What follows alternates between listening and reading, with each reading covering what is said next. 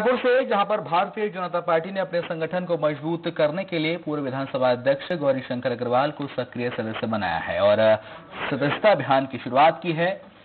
भाजपा ने प्रदेश में पैंतालीस हज़ार सक्रिय सदस्य जोड़ने का लक्ष्य रखा है।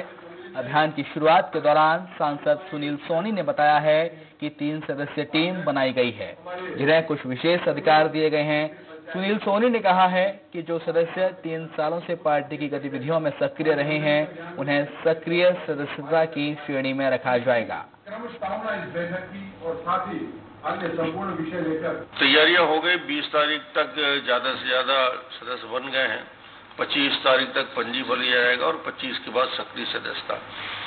जिसको भी भारतीय जनता पार्टी के एक्टिव पॉलिटिक्स में, किसी चुनाव में संगठन में कोई पदाधिकारी बनना है, कोई दायित्व मंडल से लेकर राष्ट्रीय स्तर तक लेना है तो उसके लिए मैंडेटरी है कि 25 सदस्य बना के सक्रिय सदस्य बने।